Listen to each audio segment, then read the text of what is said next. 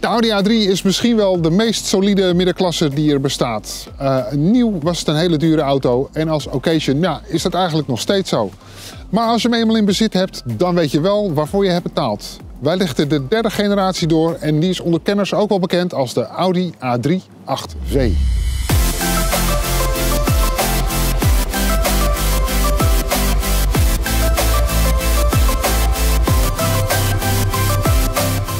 Audi A3 is misschien wel de meest Duitse auto die je kan kopen. Er zit geen enkele frivoliteit aan en alles is op en top zakelijk. Maar hij is wel gebouwd als een kluis. En er is één ding waarmee Audi zich ontzettend onderscheidt van de concurrentie. En dat is de afwerking. Dus alle naden, kiertjes en stikseltjes zijn eigenlijk tot in de perfectie uitgevoerd. En let wel, dit is een C-segment auto. Hè? Dus eigenlijk helemaal niks bijzonders. Dus als je daar gevoelig voor bent, dan is de Audi A3 helemaal jouw auto. Nou, verder is bijzonder aan de Audi A3 dat hij echt in een enorme hoeveelheid uh, uitvoeringen te koop is. Het begint allemaal met een 105 pk TSI motortje en het gaat door tot uh, de RS3 met een 400 pk 5-cilinder turbomotor. Nou, dan heb je nog de carrosserie-uitvoeringen. Dit is een vijfdeurs sportback. Er is ook een driedeurs.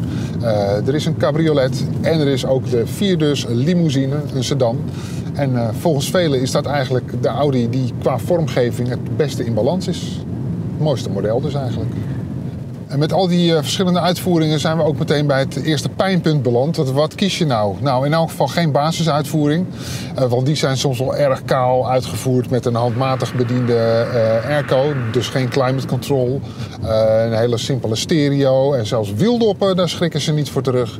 Dus ja, er staan natuurlijk genoeg Audi A3's te koop. Dus ja, kies dan gerust even verder.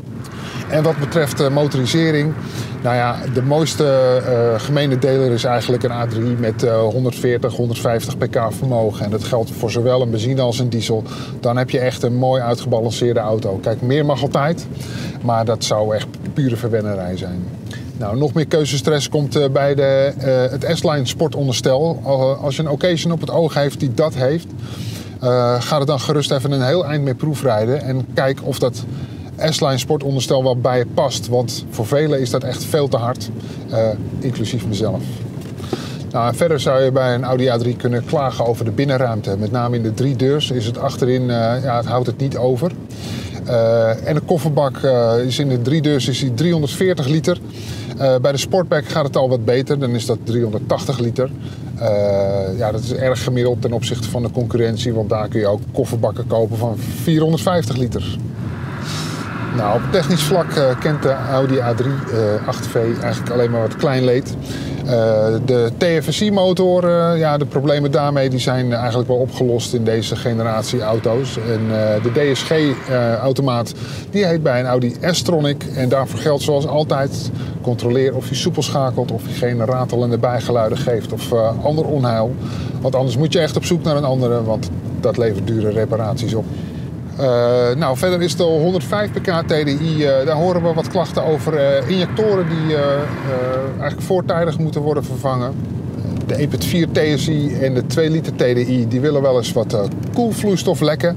En dat betekent eigenlijk gewoon dat de waterpomp moet worden vervangen. Nou, dat is best een kostbare aangelegenheid. Verder geldt voor alle TSI en TFSI motoren dat ze gevoelig zijn voor een hoog olieverbruik.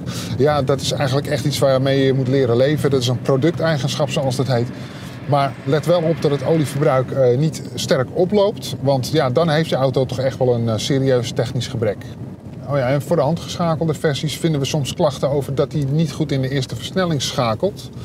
Uh, maar dat geldt eigenlijk alleen bij een koude transmissie. En als de olie warm wordt, dan is het probleem opgelost. Dus ja, dat is natuurlijk eigenlijk een beetje klein leed.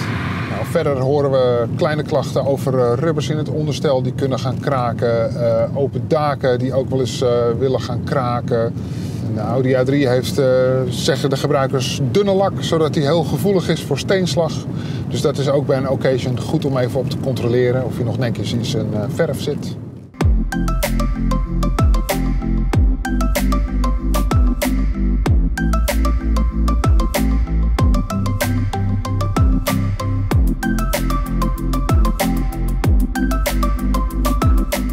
Deze auto heeft weinig piepjes en kraakjes. Sommige auto's kom je er echt heel veel tegen.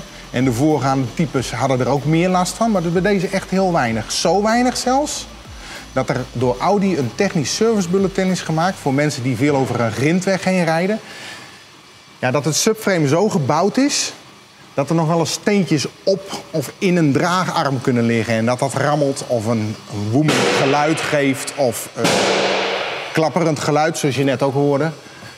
Zulke soort dingen. En dat, dat kom je tegen hier in de draagarmen, hier op het subframe en ook aan de achterkant bij de veren. Nog een mooi punt. De TFSI, dit is een 1200, had vroeger een ketting en heeft nu weer een riem. Dus je ziet daar een stukje ontwikkeling in. Het wordt weer beter.